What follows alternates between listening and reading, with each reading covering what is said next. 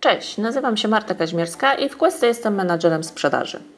E, zapraszam na dzisiejszego vloga. E, vlog jest skierowany do menadżerów firm, e, firm, które pozyskują klienta końcowego poprzez dystrybutorów, czyli przez sklepy, hurtownie, przez partnerów. Postaram się opowiedzieć, jak wykorzystać system CRM, aby skutecznie pozyskiwać partnerów i rozwijać współpracę z nimi. W przypadku sprzedaży przez dystrybutorów najważniejszymi zadaniami działu handlowego są nawiązywanie kontaktu z potencjalnymi partnerami, e, nawiązanie z nimi współpracy i przede wszystkim dbałość o efektywną e, współpracę, czyli e, dbanie o to, aby nasi partnerzy byli aktywni, aby sprzedawali jak najwięcej naszych produktów i usług. I teraz, e, jako szef e, działu sprzedaży, ważne jest to, czy e, analizujesz, jak w Twojej firmie działa kanał dystrybucji. Czy znasz powody, dla których potencjalni partnerzy odmawiają współpracy? Czy masz pomysły na poprawę działań handlowych w tym obszarze? A co najważniejsze, czy analizujesz albo w jaki sposób analizujesz, czy wprowadzone działania dają efekty? Czy potrafisz odpowiedzieć, jak działają Twoi handlowcy? Który etap procesu sprzedaży należy poprawić? E, I właśnie podczas dzisiejszego vloga e, postaram się mm, pokazać, jak poprzez system CRM, jak wykorzystać system CRM, aby uzyskać odpowiedzi na te pytania. Pierwszy krok to zbudowanie procesu sprzedaży, e, czyli kampanii nastawionej na pozyskiwanie potencjalnych dystrybutorów. E, powinieneś zacząć od wskazania etapów procesu sprzedaży, e, czyli etapów, po których będą przesuwać się potencjalne lidy, Twoje szanse sprzedaży. Mamy tutaj przykład procesu sprzedaży, rozwoju kanału dystrybucji, który jest podzielony na trzy etapy. Oczywiście to jest tylko przykład. W Twojej firmie mm, ten proces może zupełnie inaczej wyglądać, może być podzielony na zupełnie inne etapy. E, spójrzmy, jakie mamy etapy w tym przykładzie. E, to jest poznanie, porozumienie i aktywacja. E, poznanie to nic innego jak dodanie nowej szansy, pozyskanie potencjalnego lida, nawiązanie pierwszych rozmów, pierwszego kontaktu z potencjalnymi partnerami. E, zebranie informacji o tym partnerze, e, jak również też przekazanie wstępnych informacji o naszej e, ofercie, o naszych usługach. Mm, kolejny etap to porozumienie, czyli moment, kiedy ustalamy warunki współpracy, warunki współpracy, które będą zadowalające dla mm, dwóch stron. Moment też przedstawienia oferty, mm, negocjacji, przedstawienia, przepraszam, umowy czy negocjacji warunków umowy oraz podpisanie tej umowy. E, I ostatni etap to aktywacja. E, aktywacja, czyli e, działanie z naszej strony, które sprawi, że mm, ta współpraca będzie efektywna, że partnerzy będą sprzedawać nasze produkty i usługi. Powinniśmy w tym momencie dostarczyć takim partnerom wiedzy o naszych produktach czy usługach. Czasami dostarczamy jakieś narzędzia, materiały, które pomogą im w sprzedaży naszych produktów czy usług. E, jeżeli będziesz e, działać na takim procesie sprzedaży, Twój dział e, sprzedaży zajmujący się pozyskiwaniem partnerów będzie działał na tym procesie, to przede wszystkim masz jedno miejsce, jedną taką spójną bazę wiedzy o podejmowanych działaniach. Mamy tutaj otwarte potencjalne tematy wszystkich naszych pracowników. Oczywiście możemy przefiltrować po, po tematach danego pracownika. E, będziesz miał informacje, co to są za tematy, co się z nimi dzieje, na jakim one są etapie, jak przebiegają rozmowy, co jest ustalone z tym klientem. E, twoi handlowcy, którzy też e, będą mieli dostęp do tych informacji, na bieżąco będą wiedzieli, kto już z danym klientem rozmawia. Nie będzie takich sytuacji, że dwóch klientów w tym samym czasie kontaktuje się z tym samym potencjalnym partnerem. E, działając w firmie na takiej kampanii sprzedaży, e, też systematyzujesz pracę handlowców, podpowiadasz im, jak działać. E, przede wszystkim mm, samo podzielenie już procesu sprzedaży na poszczególne etapy sugeruje naszym handlowcom, w jaki sposób powinni postępować z potencjalnym lidem sprzedażowym. Co więcej, o, oprócz tego, że mamy poszczególne etapy, możesz też na mm, etapach ustalić cele czyli zasugerować e, handlowcom, wskazać handlowcom, co powinni wykonać, aby przejść do kolejnego etapu. Jesteśmy teraz e, wewnątrz szansy sprzedaży, wewnątrz potencjalnego tematu sprzedażowego i na każdym z etapów mamy inne cele. Na przykład etap poznania, mamy pierwszy kontakt, przekazanie propozycji współpracy. I sugerujemy, że to powinno być wykonane, abyśmy mogli przejść do kolejnego etapu. W kolejnym etapie, na przykład porozumienie, mamy już zupełnie inne cele, czyli uzyskanie potwierdzenia chęci współpracy, uzyskanie potwierdzenia chęci współpracy czy przekazanie e, materiałów. Oczywiście możesz dopasować e, te cele do, do swoich potrzeb, do swojego procesu sprzedaży, także w Twojej firmie mogą to być zupełnie inne cele, ale na pewno one wskazują handlowcom, jak powinni działać. A Ty, jeżeli usystematyzujesz pracę e, w danym e, procesie sprzedaży, w danym kanale mm, dystrybucji, pozyskiwania dystrybutorów, też w łatwiejszy sposób będziesz mógł analizować, które działania przynoszą efekty, a które należy usprawnić. Co dalej? E, wszystkie informacje odnośnie danego tematu sprzedażowego e, też mamy w jednym miejscu. E, wchodząc na przykład do środka danej szansy sprzedaży, mm, mamy informacje o wszystkich wykonanych kontaktach z tym partnerem, z tym klientem w tym temacie. Każde takie wykonane zdarzenie przez naszego handlowca może być przez Ciebie przeanalizowane. Wchodząc do środka mm, zdarzenia, mamy informację, co handlowiec z tym e, klientem ustalił.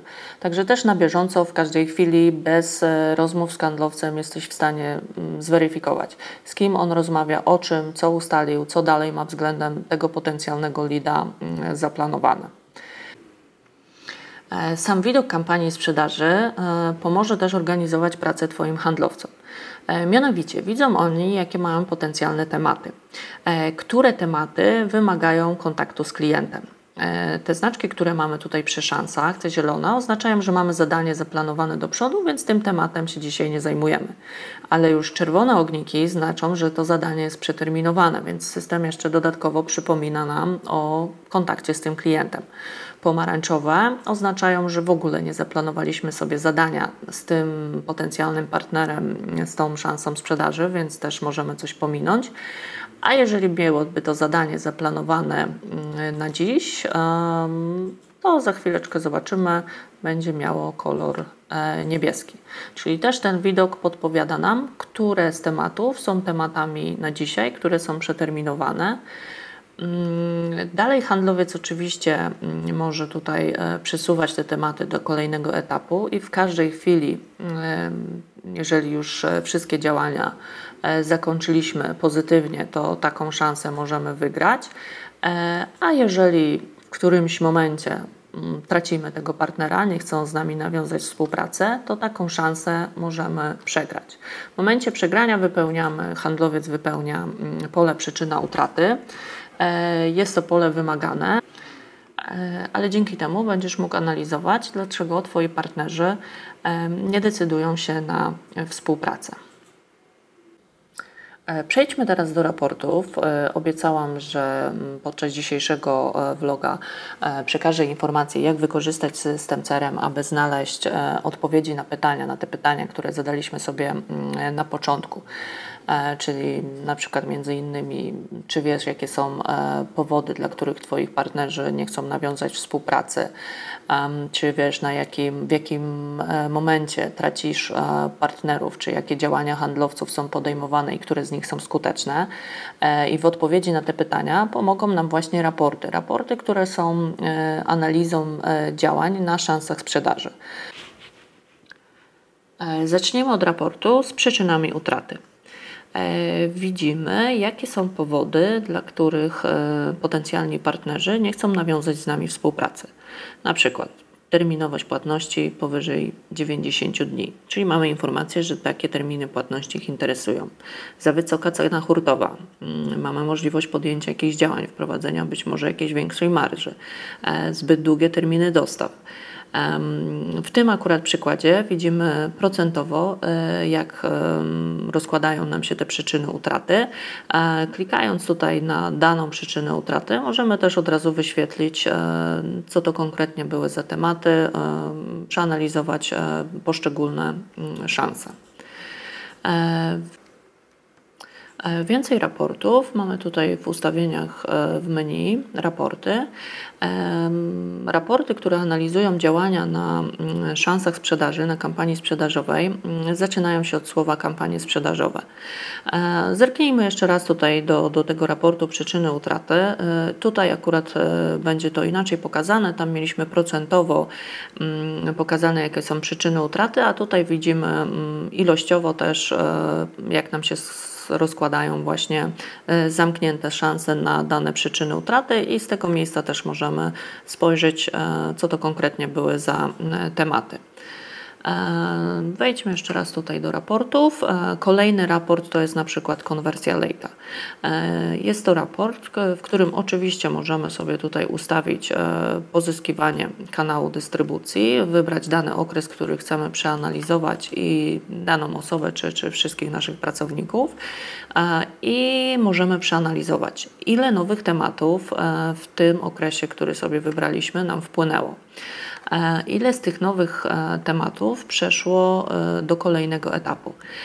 Ile z tych 20 potencjalnych tematów procentowo zostało wygranych, czyli ile pozyskaliśmy procentowo partnerów? To też może dać Ci mm, jakiś sygnał, ile, mm, jeżeli chcesz na przykład nawiązać współpracę z określoną ilością partnerów w danym okresie, to masz informację, ile mm, potencjalnych szans powinno być otwartych. Jeżeli z 20%, e, przepraszam, z 20 potencjalnych tematów 5% nam się mm, sfinalizowało, czyli z nimi podjęliśmy współpracę i aktywnie współpracujemy, to daje nam to pogląd, ile mm, potencjalnie potrzebujemy, aby na przykład nawiązać współpracę z mm, setką takich partnerów. E, widzimy, na jakim etapie najwięcej e, tracimy szans. To jest też taki raport, który może mm, Ci zasugerować, który etap e, powinien być poprawiony, z którym etapem na przykład pracownicy sobie nie radzą, bo na tym etapie najwięcej tracą. Oczywiście tutaj możemy też wejść i, i zobaczyć, co to były za firmy utracone na tym etapie. E, przejdźmy do kolejnego raportu. Kolejny raport to jest e, napływ szans. E, napływ szans to jest raport, który możesz analizować, w którym możesz analizować działania na szansach sprzedaży w różny sposób. Jest to raport, w którym możesz ustawić wiele filtrów. Między innymi możemy filtrować po danej kampanii, czyli możemy tutaj oczywiście filtrować po dystrybucji, po danym pracowniku, ale też proszę zobacz, możesz analizować działania szans napływających w danym okresie. Możemy sobie przeanalizować szanse, które napływają nam w danym okresie e, w ostatnich iluś e, dniach czy miesiącach. Możemy e, weryfikować napływ szans po statusie, czyli możemy przeanalizować wszystkie utracone szanse czy wszystkie wygrane szanse lub otwarte. E, po przyczynach utraty. Także w zależności od tego, jak ten raport ustawimy, po czym pogrupujemy, czy po czym będziemy filtrować, możemy e, analizować e, z niego różne informacje. Ten raport przede wszystkim pokazuje nam, kto napływa, jakie szanse nam napływają, na jakim one są etapie. Być może one są już też stracone, więc jest od razu podana przyczyna utraty. W ten sposób możesz też analizować, kogo ściąga na przykład e, marketing. Jeżeli w Twojej firmie poprzez marketing e, pozyskujecie potencjalne lidy, to możemy też analizować, czy mm, te lidy są e, efektywne, tak? czy, czy są zgodnie, zgodne z tym, czego mm, oczekujemy, zgodne z naszym targetem. Pofiltrujemy po utraconych szansach. I jeżeli widzimy, że na przykład e, większość utraconych szans jest już na pierwszym etapie, czyli na etapie poznania, to też jest jakiś sygnał, że nasz dział marketingu mm, na przykład dostarcza nam nieodpowiednich lidów, czyli kontaktujemy się z partnerami, dla których być może nie mamy odpowiedniej e, oferty.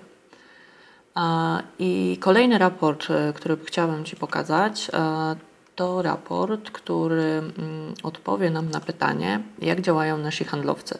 Zadawaliśmy sobie na początku pytanie, czy wiesz, jak działają handlowcy, e, jakie działanie podejmują, e, czy, czy możesz je analizować. I tutaj jest na przykład raport, który pokazuje nam aktywność na szansach sprzedaży.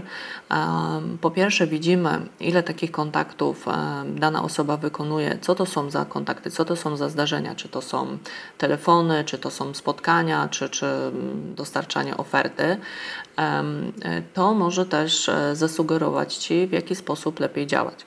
Bo jeżeli na przykład e, widzimy, że najwięcej e, szans, najwięcej umów czy, czy pozyskanych partnerów ma dana osoba, to możemy przeanalizować, jakie ona działanie podejmuje i zasugerować to innym handlowcom. Jeżeli widzimy, że dana osoba, która nawiązuje najwięcej umów, na przykład najczęściej się spotyka z tymi partnerami, no możemy też zasugerować innym e, handlowcom, aby nie tylko działali telefonicznie, ale w większości mm, spotykali się z partnerami. Jeżeli widzimy, że dana osoba wysyła więcej e, maili czy dostarcza więcej ofert, no to też jest sygnał dla pozostałych osób, aby mm, w ten sposób e, zmienić swoje działania a przede wszystkim widzisz, jak działają handlowcy, którzy handlowcy w danym okresie mm, podejmują ile działań. To też jest informacja, mm, dzięki której później wiemy, że dana ilość działań skutkuje jakąś ilością pozyskanych e, partnerów. E, I na koniec jeszcze informacja, jak CRM może wspierać e, działania e, Twoich handlowców przy mm, rozwoju współpracy. Tak? Bo współpraca z takim partnerem oczywiście nie kończy się tylko na tym, że go pozyskujemy, podpisujemy umowę i on zaczyna sprzedawać nasze produkty i usługi, ale wymaga, aby na bieżąco się z tym partnerem kontaktować. I do tego w tych działaniach oczywiście też może wspierać CRM. E, bowiem możemy sobie planować e, działanie z takim potencjalnym partnerem, czy jesteśmy w karcie, w karcie klienta, w karcie partnera, e, możemy sobie mm, zapisać do niego jakieś zadanie, że w przyszłości mamy, mamy się z nim skontaktować, wykonać audyt. Takie zadania zostaną podpięte pod kartą klienta, więc widzimy, że ktoś już też ma jakieś tutaj rzeczy zaplanowane, ale przede wszystkim handlowiec, który działa na, na CRM-ie, działa na Mm, zadaniach. Te zadania pomagają mu organizować pracę i w odpowiednim e, momencie e, system przypomni nam, że z tym partnerem powinniśmy się skontaktować, żeby mm, odświeżyć kontakt, zobaczyć, e, co u niego mm, się dzieje. Oprócz tego możemy też w pewien sposób tagować naszych partnerów. Mamy też dodatkowe kryteria którymi możemy takich partnerów e, opisywać i później możemy do danych partnerów, którzy na przykład handlują jakimiś naszymi produktami, e, wysyłać też e, mailingi masowe, tak, że coś nowego wprowadzamy, jakieś produkty, jakieś promocje, też możemy wykorzystać CRM do takich działań, bo jesteśmy w bazie kontrahentów, możemy filtrować ich po kryteriach standardowych, jak nazwa, NIP, adresy, ale też po indywidualnych kryteriach, które mamy stworzone do mm, opisu takiego partnera. I automatycznie możemy e, wysłać teraz mailing masowy do całej grupy takich e, w ten sposób otagowanych e, partnerów. Także mam nadzieję, że odpowiedziałam na pytania, które zadaliśmy sobie na początku, w jaki sposób CRM może wspierać działania handlowe w pozyskiwaniu e, naszych e, potencjalnych partnerów. E, przede wszystkim, tak jak mówiliśmy, czyli wprowadzenie procesu sprzedaży, tak, czyli usystematyzowana praca nad potencjalnymi lidami, a po drugie raporty, które pokazują nam, analizują nam podjęte działania, pokazują, czy wprowadzone usprawnienia e, przynoszą e, efekty.